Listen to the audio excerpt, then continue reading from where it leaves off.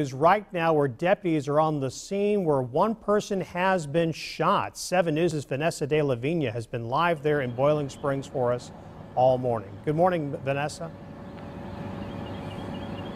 Good morning, Fred. Yes, we are here on 4th Street in Boiling Springs. You can see behind me here, Spartanburg County Sheriff's deputies are still out here on the scene. I'll step out so you can take a closer look, but they have confirmed to us that one person has been shot this morning. It's hard to see the home where this happened, but it is right behind that vehicle there. Now let's give you a look at the scene a little earlier this morning. Investigators were here since around 4.30 this morning, just a little before that, uh, investigating the scene here. They were going in and out of this home, uh, collecting evidence, investigating, looking around with flashlights, trying to find out exactly what happened here this morning.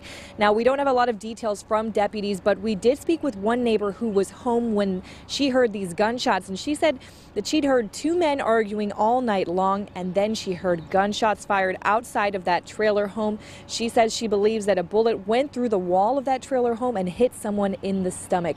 Now, sheriff's deputies have not confirmed any of those details for us here, but we have been out here working on asking some more questions and getting some more details for you throughout the morning here. So, as we said, uh, Sheriff's deputies have confirmed one person has been shot. That person was taken to the hospital, but they do not believe that those injuries are life threatening. So we're going to continue to work on getting you some more details and we'll keep you updated as we learn more.